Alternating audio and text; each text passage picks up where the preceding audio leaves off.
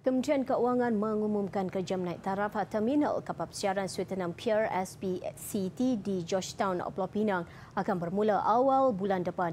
Menterinya Lim Guang Em berkata kerja naik taraf membabitkan empat fasa dengan kos 500 juta ringgit adalah kerjasama antara Pelabuhan Pulau Pinang Sendirian Berhad dan pelaburan swasta.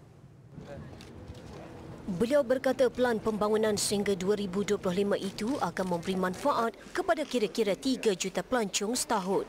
Kan itu pelabuhan ini sebanyak 400 meter.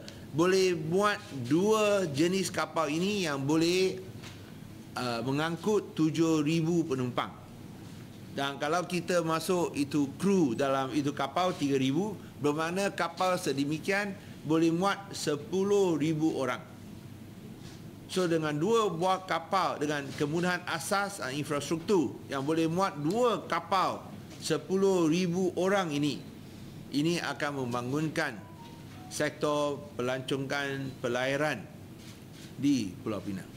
Siang tadi beliau melakukan lawatan kerja PBSB dan meninjau operasi SPCT secara dekat. Tambahnya ketika ini, sektor pelancongan pelayaran negara naik ke tangga ketiga di Asia yang mana pelabuhan Georgetown menjadi pilihan utama dengan 152,000 pengunjung direkodkan pada tahun lalu. Dan bagi memastikan ia terus berkembang, infrastruktur perlu sentiasa berada dalam keadaan terbaik bagi memberi lebih ramai pelancong dalam sektor pelayaran. Ahli Parlimen Bagan itu turut menjelaskan fasa pertama pertama yang menelan kos sebanyak 150 juta ringgit dijangka siap dalam masa 24 hingga 36 bulan bermula April ini. Difahamkan projek naik taraf di kawasan seluas 2.83 hektar itu membolehkan SPCT dilengkapi dua kedai bebas cukai berbanding satu kedai ketika ini. Katanya tambahan kedai bebas cukai itu susulan pengumumannya pada pembentangan belanjawan 2019 tahun lalu. Bagaimanapun PBSB kini sedang dalam proses menerima lesen daripada pihak kastam.